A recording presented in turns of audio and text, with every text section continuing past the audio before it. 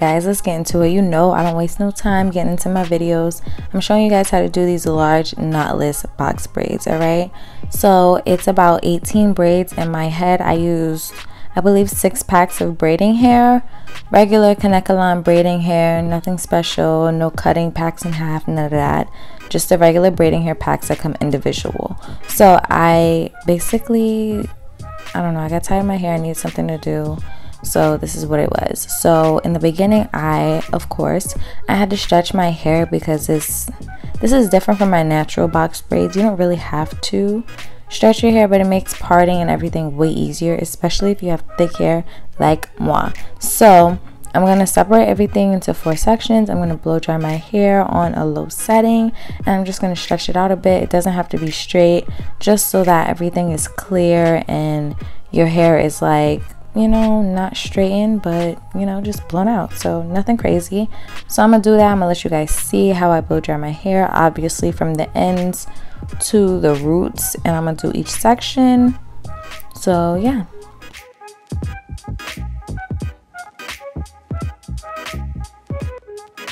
Be gentle with your hair. You see that? Like gentle gentle.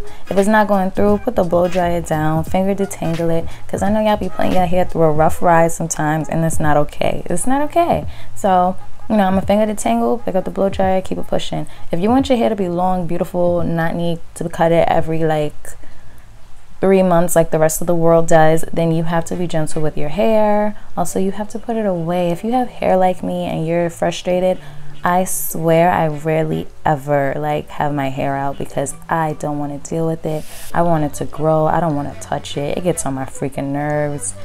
I never know what I'm gonna get each day when I wake up, and ain't nobody got time for that. Hence why I'm braiding it right freaking out.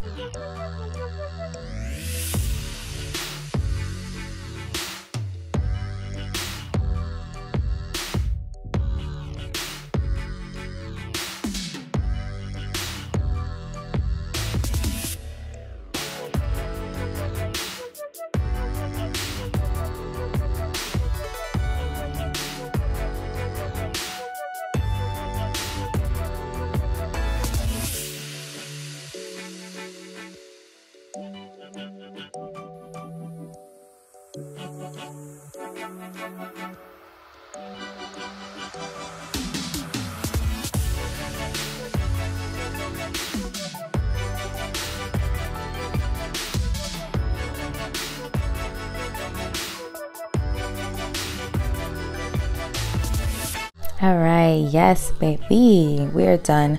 I look crazy, I know. That's why I made my eyes like that just now.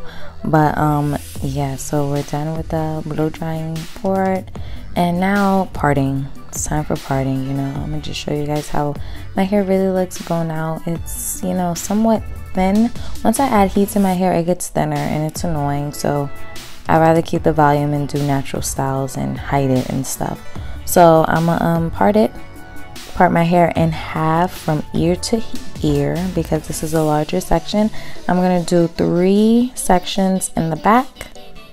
And yeah, you'll see exactly exactly how I do it. If you don't really understand, I'm going to part it in half like I just said. And then I'm going to part it into three. The back portion is going to be three rows.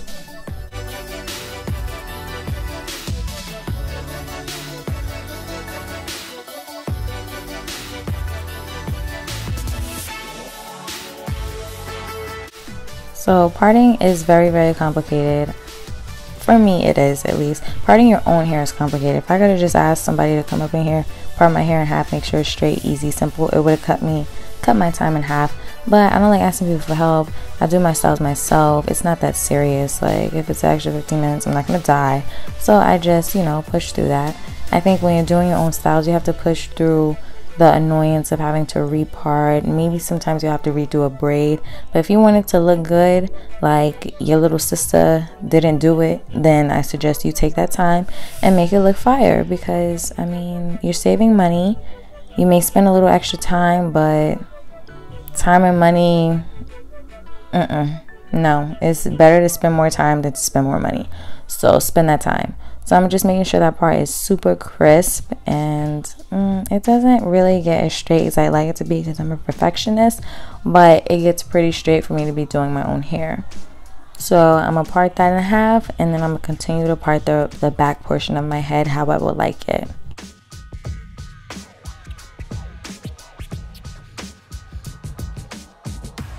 All right, all right. So that back, this row that I'm parting right now is going to be my first section of hair that I'm going to braid.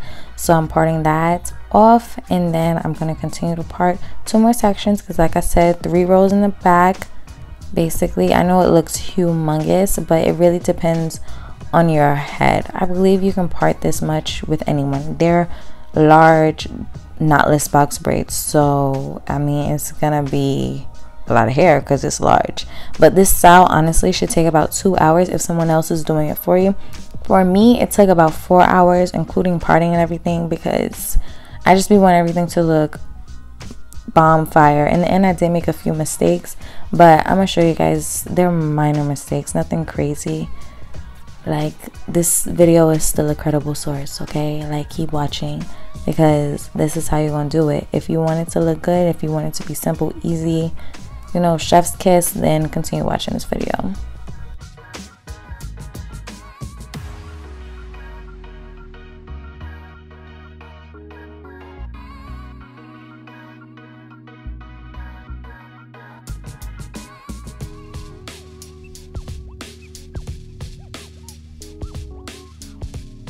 So whenever you are doing any style on yourself, it is very, very important to um, pre-part pre-part it don't try to sit there and braid it.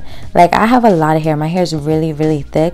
So i have to pre-part or i may start braiding and then realize that my parting or a roll wasn't how i wanted it to be. So i may have to go back and fix it. And that is very annoying. So i'd rather pre-part check the parts as i'm doing it so that it just saves me time and headaches. so definitely i suggest pre-parting no matter what if you're doing your own style.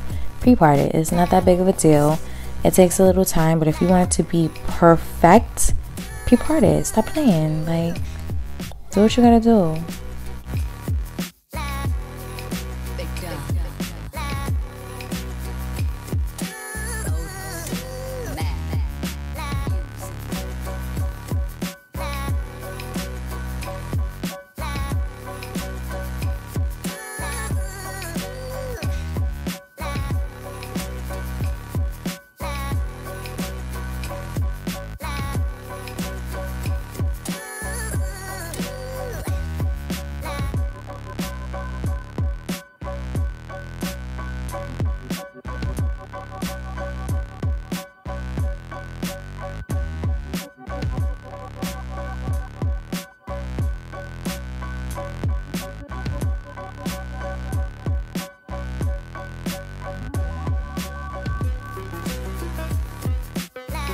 Okay, so you guys see me um, measuring with my comb.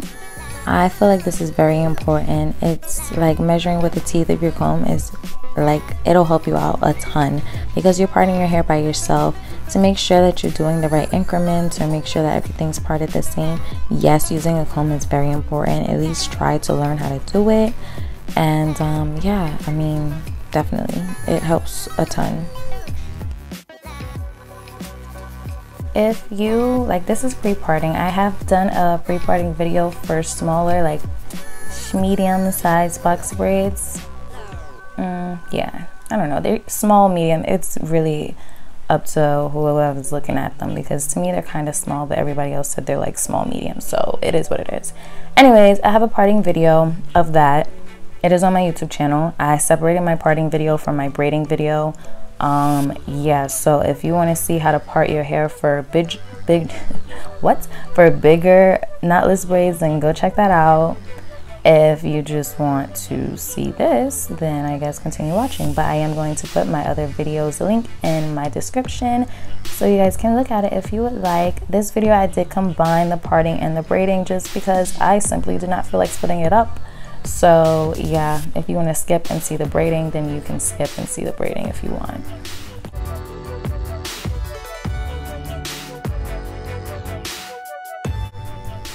All right, so you're gonna see me check again to make sure the parting is the same.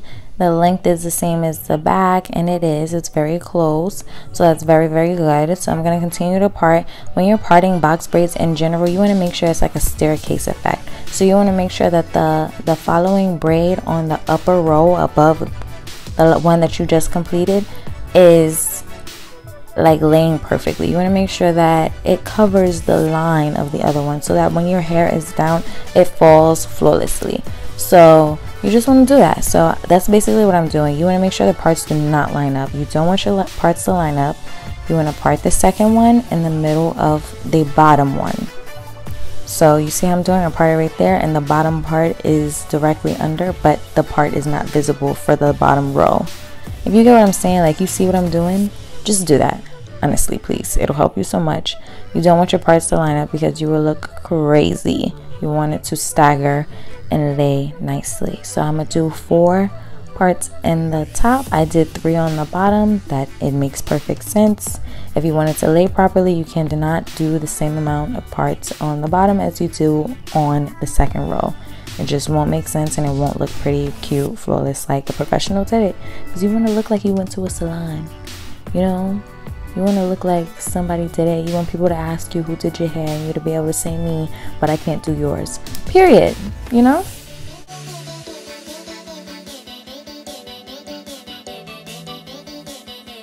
Okay, so parting my hair in half does help, but I did figure that sectioning out the front would help to cut down the time and everything rather than waiting until I parted the entire back portion and coming back to do that. It really didn't matter. Same time, same difference.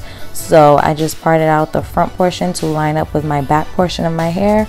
Super simple, super easy.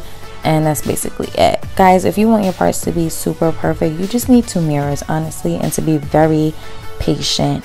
Your hair is, if it means anything to you, you will definitely take that time. Do it on your day off it won't take that long. You have to be patient. You have to teach yourself. Like, but I will honestly say, doing the smaller box braids is way easier than doing the large ones. Because if you want to do large box braids you have to at least know how to tuck your hair under the braid or be able to like hide it a bit. With the smaller box braids you kind of have a little bit of a leeway. But if you mess up on one braid doing the large ones that one braid is gonna stand out because you only got like 10 braids in your head. So, yeah. I know most people would be like, oh, doing the larger ones is easy. It is parting wise, it is time wise. But um, as far as the look, if you mess up on a braid, it's going to be noticeable as hell. So don't sit there and try to like shortcut it or nothing. Just take your time and you know, try to make it look the best you can.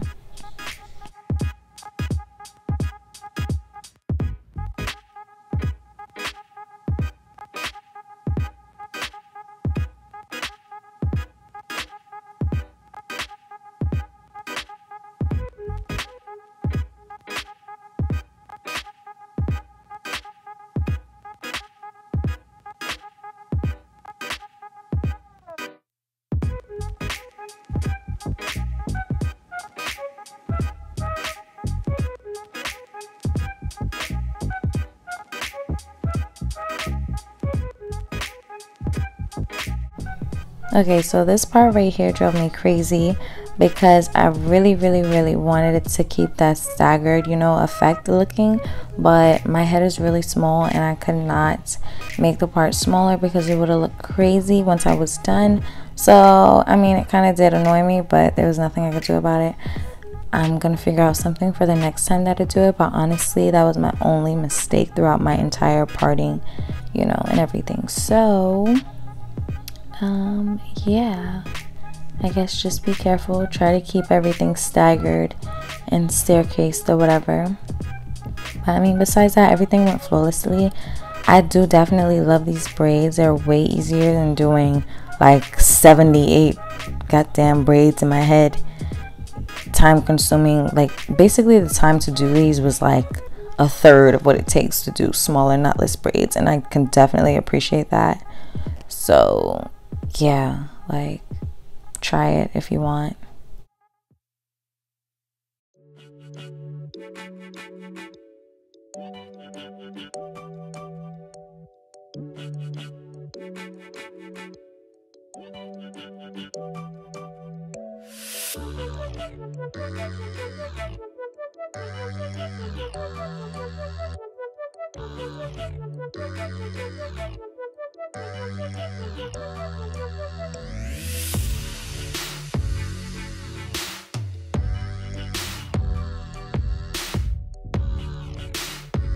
Alright, alright, so we're almost there. The way I part my middle part is I line it up with my nose and then I like kind of cut my nose in half and I just continue up my forehead to make sure that the middle part aligns with my nose because your nose is at the center of your head so it only makes sense to line it up with that.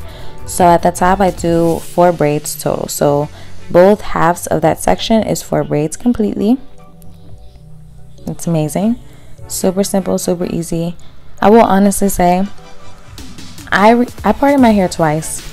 I don't usually do jumbo braids. I'm not really too fond of them. I feel like they don't last as long. Honestly, once my hair hits that fuzzy stage after about two weeks, I'm ready to take it out. But typically, I push myself to about a month because I'm like, sis, you spent time. You be having to treat your hair with apple cider vinegar because you're allergic to kanekalon hair. And that's a lot of work. If anybody is allergic and you have had to treat your hair, you know that takes time. You gotta let the hair dry like Come on now, the average person that's not allergic does not have to do all that. So I do typically try to push about a month out of each braiding hairstyle. Super hard. Um, yeah, I don't know if this one gonna last. I still have it in right now, but it's been about two weeks and your girl is bored. So yeah, you guys might see me with another video up of how to do something completely different. You'll know. But um yeah, so my parting was very good.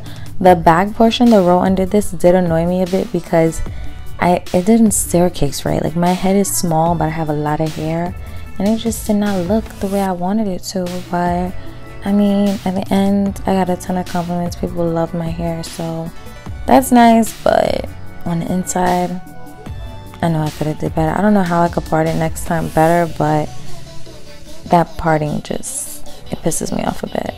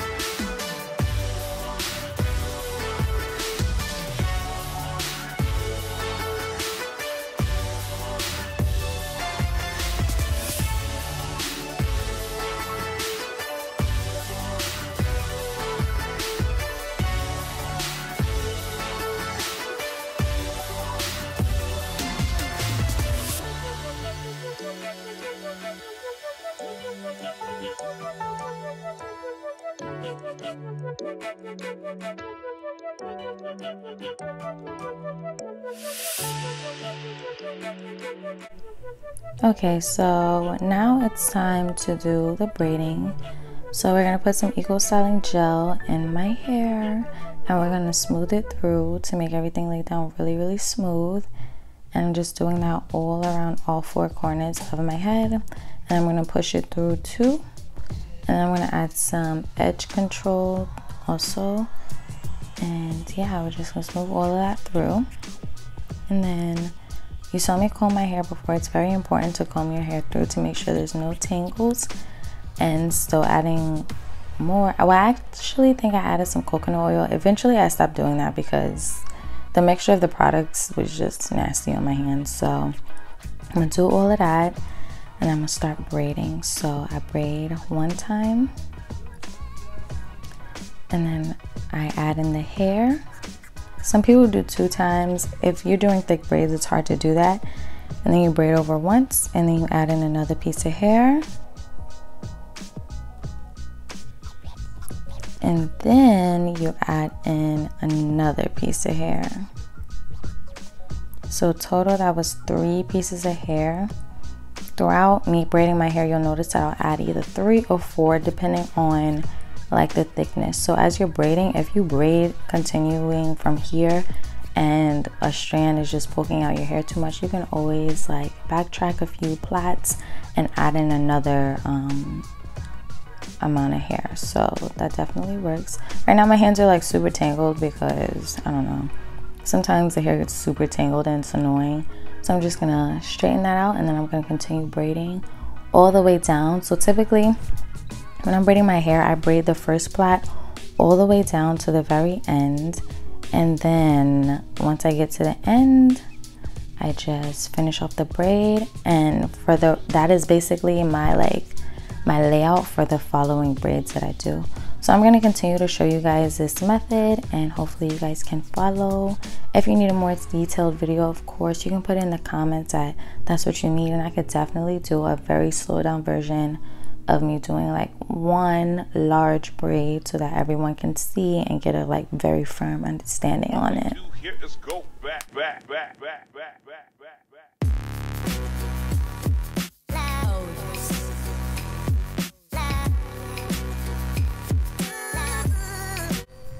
Okay, so we're gonna do it again, adding the edge wax to the end of my hair. And I'm gonna add the Eco Style Gel to the roots, all around the four parameters of my hair. I'm gonna smooth it through. I'm gonna use a fine tooth comb to comb it so that everything's like super detangled and straight. And then I'm gonna start plaiting. So I'm gonna do over one. And then for this one, I did two and then I'm gonna add in the strand to one side, plait once, add in another strand, and I'm gonna plait again. And then, uh, yeah, I'm gonna add in the final plait, the final piece of hair right here. Right now I'm just sectioning it out so that it's the correct thickness. And I'm just gonna add that in. I'm gonna braid and yeah so cool so when you're adding in the last plait you want to make sure that it's like a little well further back you don't have to really worry but once you get closer to the front of your head you'll have to make sure that it's like the end of the hair ends with the last braid. So typically i pull the back braid to the front and then i'll just you know continue to braid and try to see if it's at least even out. If you finish the braid and it's just not close enough or you can tell you can literally tell before even ending the braids when they're all lined up together and you're braiding to the end if it's going to end where the longest braid is and you can just add in some hair at the end. There's no specific point where you can add in hair. You can add a little bit so that the ends like it just has to be a small piece of hair so that it ends perfectly and it looks very very you know in tune all together in sync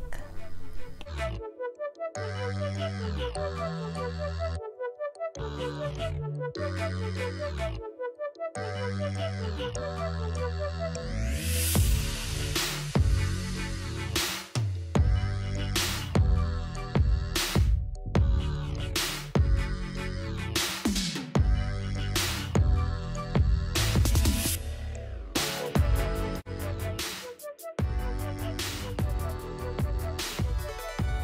so I'm back again, adding the Eco Style Gel to all four sides. And yeah, so doing that, adding it to the end. I think I stopped using the edge wax. I don't know, honestly, mixing products, like I'm super sensitive to stuff like that, like textures and stuff. So I did just stop using it and then I started combing through my hair. And then I'm just going to braid it yeah yeah yeah so I'm gonna braid it we do one plait and then we're gonna add in the extension and then braid one more ply and then we're gonna add in the extension again. And we're gonna braid one again. And then I think that's two. Okay three. Whoa. Yeah I did three. I don't know why I did that there. And then I added in another one. So yeah right now i'm like trying to stretch it with my knees like if you ever braided your hair you know the struggle. So i'm adding that in and then i'm going to continue to braid down.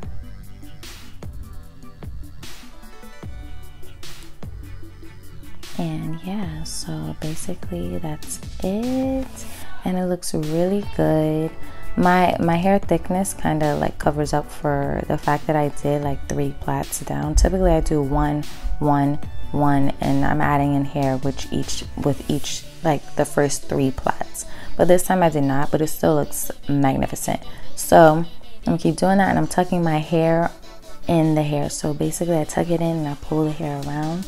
So you kind of want your hair to be in the middle of the extension each time you braid. So I'm just making sure I do that.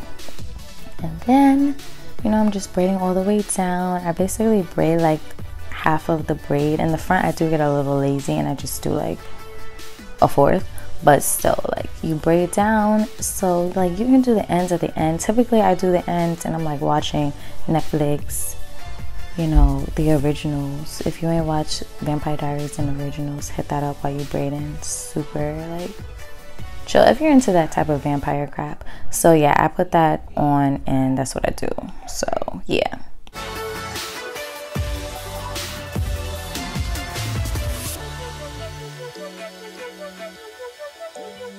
Almost there. Just two more braids, you know? So honestly, this style to do somebody else's hair should only take about two hours. For me, it took like five. Usually it'll probably take me four if I were to do it again.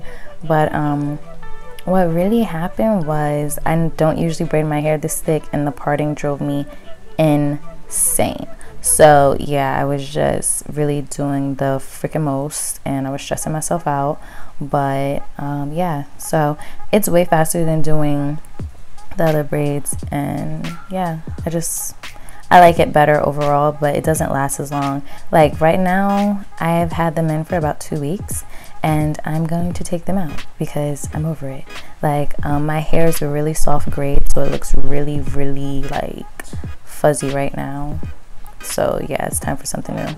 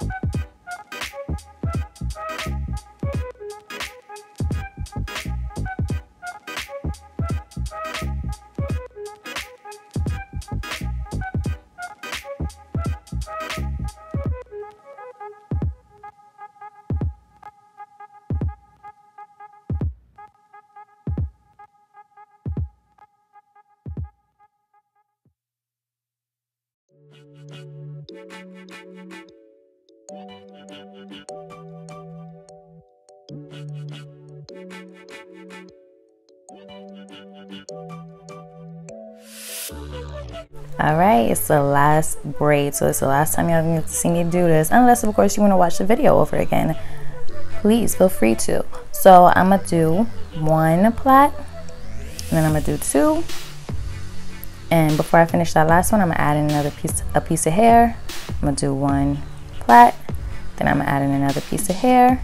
And the earlier you start adding in the hair, the more realistic it's gonna be because these braids are bigger, like thicker than my hair actually is. So of course, if I was to add it in later, it would have looked ridiculous. So it's best to do the add the first strand in with the after the first or the second plait. If you go any further than that, you're gonna re regret it, I promise you.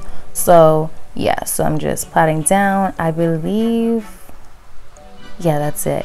Um, so they look super neat to me. For this to be my first time doing them, the only thing I would definitely do different next time is not use gel. Instead, just use um, Dr. Murray's beeswax because my hair is really curly and the gel made it curl up. I do wish it was a little more slicked down, but um, I'll probably show, I'll probably do these again with just the beeswax and come back with a a compare contrast video or something like that. So, you know, um, just make sure you tuck your hair. If you're not tucking your hair with this style, it's going to look crazy. It's going to look crazy. So, um, yeah, I'm just going to keep braiding, braiding, braiding. And then I'm going to come back to show you guys what it looks like after I done put the mousse on it and I dip the ends and I braid all the way to the bottom all of that y'all about to see the finished result you see that? They mad long. Touching those cheeks. I love it when my hair is long enough to touch my butt. I don't know why. So yeah. They just look really nice really polished really shiny. Like they look very neat for this to be my first time doing knotless jumbo box braids. So i think you guys should definitely try it. It'll like give you some relief with this time. Weather's weird. In between seasons you know? But catch you next time. Thanks for watching guys. Love you. Bye